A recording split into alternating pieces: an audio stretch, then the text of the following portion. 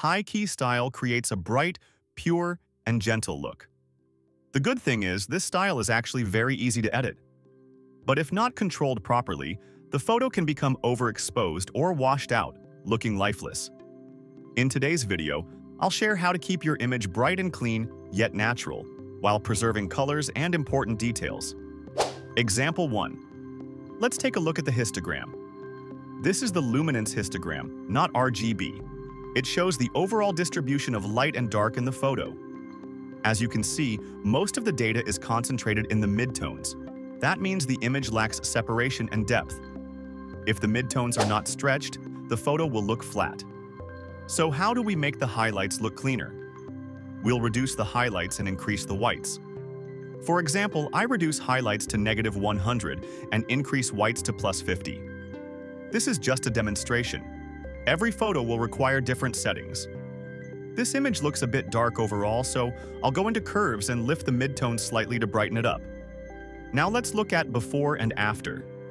Before, the highlights are flat and dull. After, the whites look cleaner, and the skin is bright but still detailed. But when we do this, one issue appears.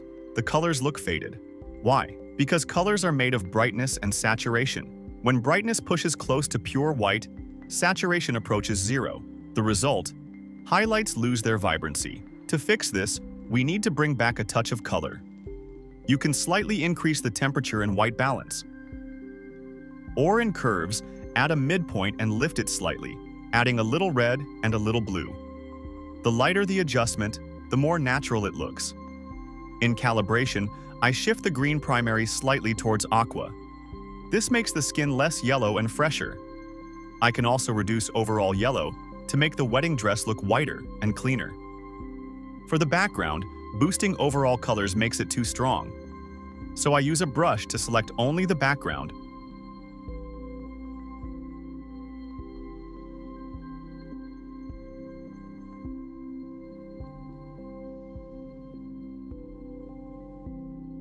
reduce saturation slightly, and add a touch of clarity. This way, the dress and veil pop more clearly. Result, the image looks bright and clean, skin stays natural, the dress is pure, and the background is under control. Example 2. Now let's look at the histogram of this photo. The data is concentrated in the highlights, which means it's prone to overexposure. The solution reduce highlights to control blown areas, increase whites for clarity, lower the color temperature slightly to balance the skin, increase exposure to brighten the overall image, lift shadows to recover details in the dark areas, add a little contrast for depth. Finally, I create a light S-curve, a Japanese film style. It keeps the photo clean and bright, while adding soft contrast. To make the photo richer in color, I go into calibration.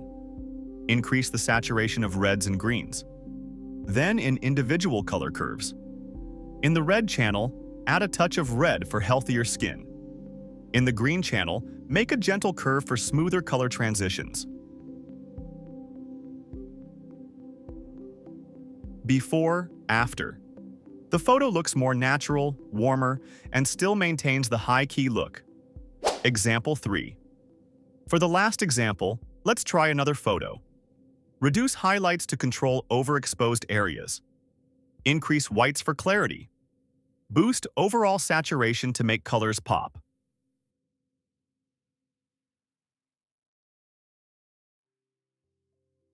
For this image, I increase white balance towards warm tones.